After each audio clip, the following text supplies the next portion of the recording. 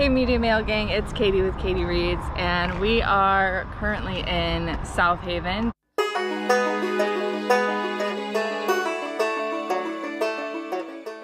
Doing a little weekend beach vacation, and you know we had to come to the thrift stores. So, first stop is this Goodwill, and we'll see what I can find.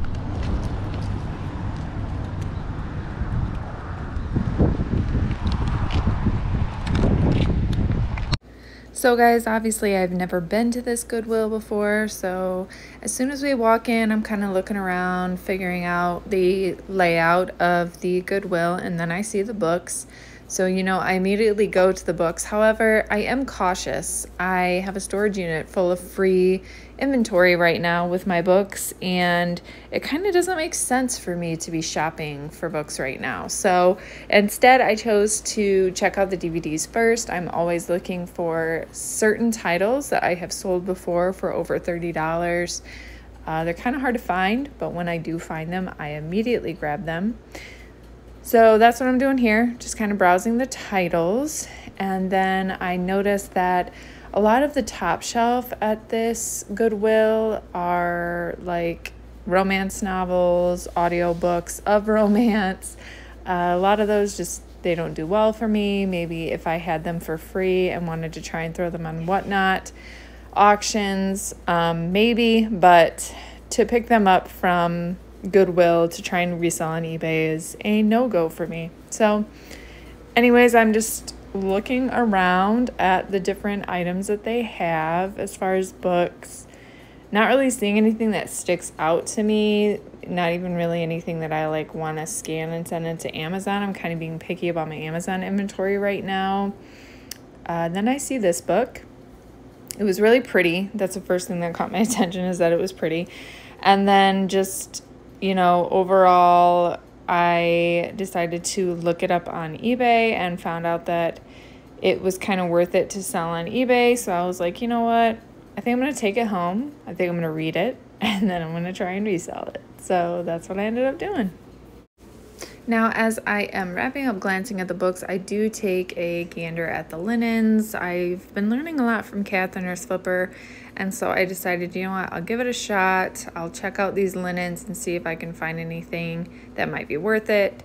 Um, I keep adjusting my GoPro. I'm I'm still learning how to like have it at a good angle that I need uh, in the Goodwill store. There's Tay looking at the electronics, Izzy and the baby. So cute. And I kind of glance at the electronics, but they have a high return rate, and I know there's money in them, but it's just not my cup of tea. So I do decide to move on over to an area. Tay tells me about something that I like to send into Amazon, so I decided to go to a different area and check that out.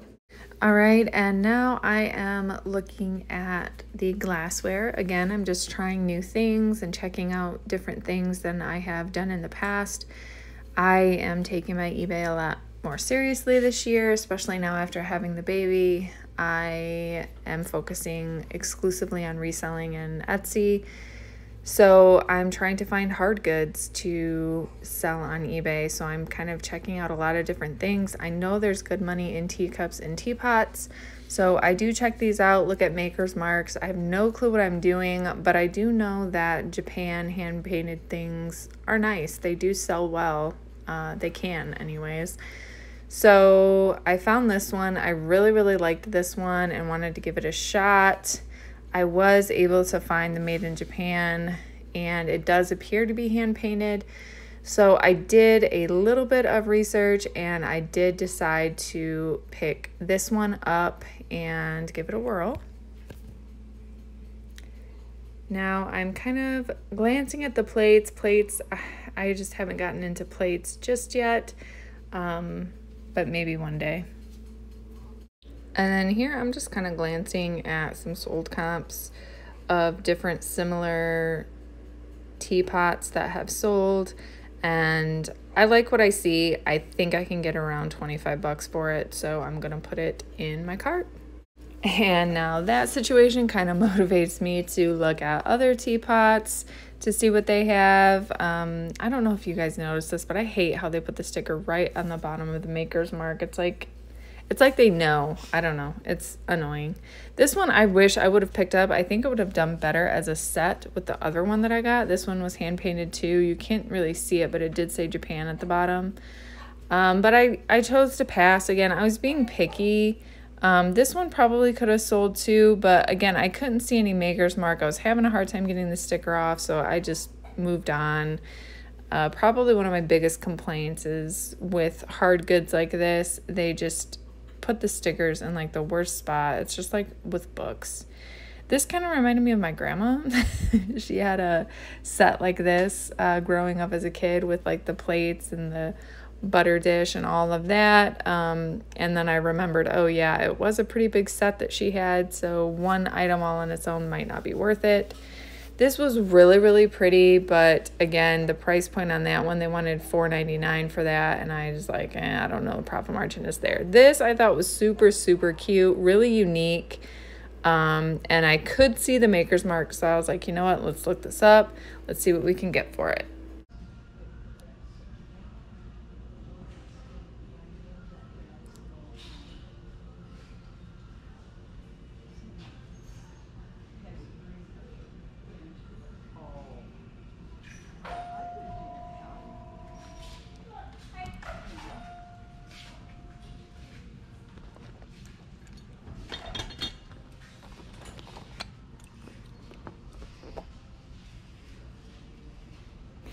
All right, and now I am looking at teapots still, pretty much. They had quite a selection there.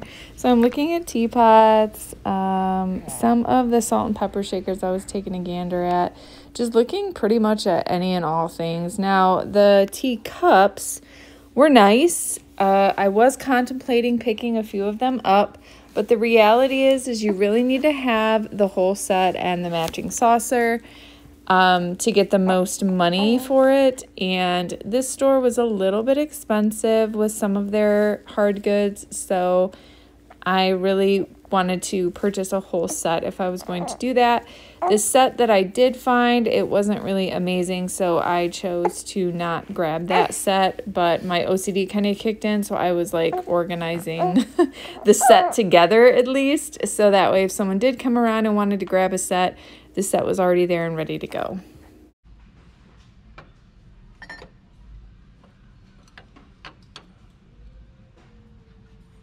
So here I noticed these McDonald's glass uh, Batman Forever cups. And I'm thinking, okay, 90s, um, maybe early 2000s. I can't remember when the movie came out, but I'm thinking nostalgia regardless and vintage. So I take a gander on eBay and check out the sold listings. Look at Tay. Oh, isn't he cute? So anyways, I'm looking at the sold listings and um, I couldn't really find it at first, but then I did find it in the solds and they were selling as sets of four which kind of sucked because there was only two there. Um, but I'm still going to go for it. I think I'm going to probably get a little bit less than what I could if it was a set of four, but there aren't a whole lot listed either. Um, so I decided to grab them and put them in my cart and give it a shot. So I decided to give one last look to the books and then I noticed that Tay is holding the baby, which means he's probably getting fussy. And I was right.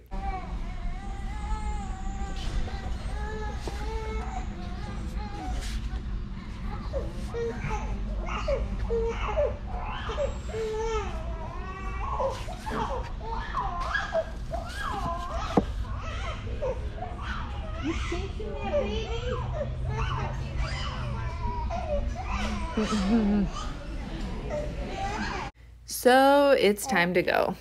This is the wrap up of what I found at the Goodwill in South Haven. Pretty much everything is in this box. I found some other items that I sent into Amazon and I'm not going to share that. I don't share everything. Um, that's just kind of how it goes sometimes with the reselling world. Otherwise, I'm pretty transparent about a lot of the stuff that I find and I sell. So this book was one of the first things that I grabbed. I honestly grabbed it because it looked cool. Um, it's by Harper Publishers. I don't know this author. I kind of picked it up for myself and then I looked up comps and I was like, hmm, I think I'm gonna read it and then try and sell it because the comps were anywhere from $7 pre-owned to all the way up to 25, um, 40 bucks. I mean, just all over the place types of comps. So we'll see what happens. In really good shape. So after I read it, I think I could get at least 15 for it. I have, uh, I'm channeling my inner cat with nurse, the nurse flipper. I found some teapots and the comps on these were really good. Um, and there's no, there's none listed like this. It's uh, Susan Branch is the brand. And I got this for $2.99. I think, um, you know, I'm gonna try and list it at 50. I'm not gonna lie, I'm gonna shoot really high, have best offers on, and kind of gauge the market as it's listed out there for a little while, and then bring the price down. But even if I got a $20 bill out of this, that's really exciting. Um, and it's a new category, something I haven't done before. So um, still staying faithful to books, but because I have a storage unit full of books, which I'm probably going to mention in the um, voiceover in this video, I'm kind of staying away from buying books right now. I need to go through my storage unit of my free 99 books first, and then I can start purchasing more inventory when it comes to books. But hard goods, I'm kind of dabbling in, and I really want to start getting into like glass and more vintage related items, so we'll dabble with that. And then next were these glass uh, Batman Forever mugs. They were $2 each. Um, they were from McDonald's. I could only find two. It does come in a set of four, but I still think I could get some de decent profit off of these. Um, hoping to get like 20 to 25. You'll kind of notice a theme. I'm trying to get at least $15 or more per item now if I'm paying money for it. If I'm getting it for free, then I can, I can settle for like, you know, five to $10 bill profit if I'm getting something for free. But if I'm putting money into it, even if it's just a dollar or two, I'm really trying to shoot for $15 or more for an actual sale price or profit margin type of deal. Now, this is just a generalized made in Japan. I am gonna give it a shot and see what I can get for it. I'm gonna cross list this between Etsy and eBay and see which platform it sells on first, just because Etsy does kind of have a market for vintage. That's pretty much what I grabbed. Like I said, I was kind of being selective already and then everything with my storage unit full of books. I'm not grabbing more books right now. You know, that's kind of what I'm focusing on is like hard goods when I'm out and about at thrift store. So thank you guys so much for watching and I will see you in the next video.